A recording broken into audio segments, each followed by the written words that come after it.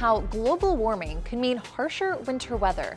Hey everyone, I'm Jessica Suknanen, and this is your Daily Pitch. People across the country swapped their winter coats for short sleeves this week after a major thaw out, with temperatures swinging as much as 70 degrees in some areas.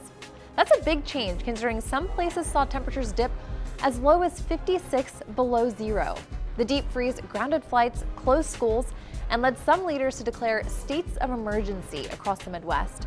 On social media, some questioned what the dangerous cold might mean for global warming.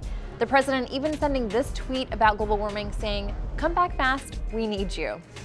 Experts say there's no doubt the Earth is warming, so how can deep freezes still cause temperatures to dip so low?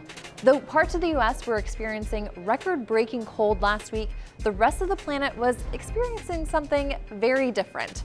Dr. Jennifer Francis is a senior scientist studying climate change at the Woods Hole Research Center.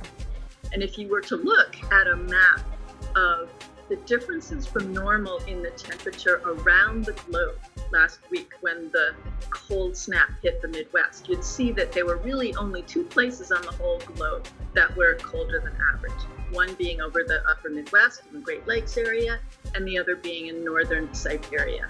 Everywhere else on the planet, for the most part, was warmer than average.